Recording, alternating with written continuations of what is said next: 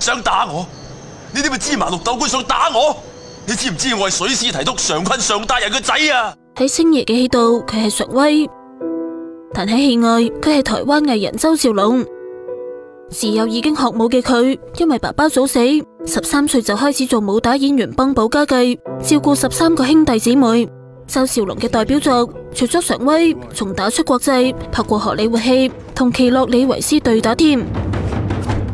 而近年多咗喺内地发展，事业得意，但佢四年前宣传四大名捕二嗰阵就突然自爆家事。